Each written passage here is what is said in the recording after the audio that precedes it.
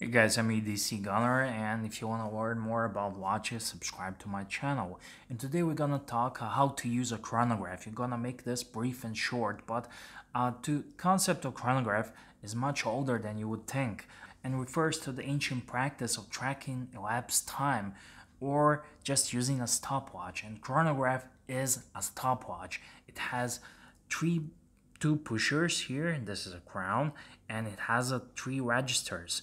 This register is not for chronograph this is just a second hand on your normal watch. But this one here this register is a minute register and you will recognize it by instruments of 5 10 20 25 and down below at 6 o'clock here you have hour register. It measures the elapsed time of hours. So it's very easy. You just need to figure out which part of your watch are used for the chronograph functions and uh, then you need to press the pushers.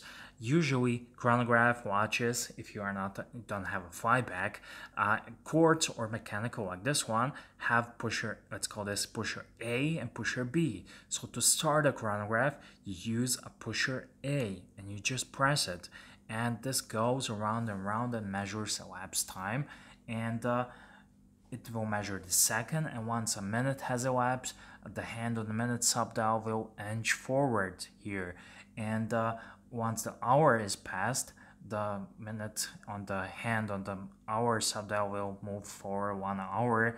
And that's pretty much as you can see the chronographs are simple. If you want to stop the chronograph you push again pusher, top pusher, the pusher A we called it. But this is very important. You start and stop with this one. And if you want to reset it, then you use this pusher B. And that's really it. As you can see, chronographs can be truly as simple as pushing a couple of buttons, but uh, they are very sought after in the luxury watch world. Everyone wants chronographs. And uh, it's really cool complication, especially if you like mechanical stuff. This is really something cool you can have on your wrist, a piece of horology and one of my favorite horological complications.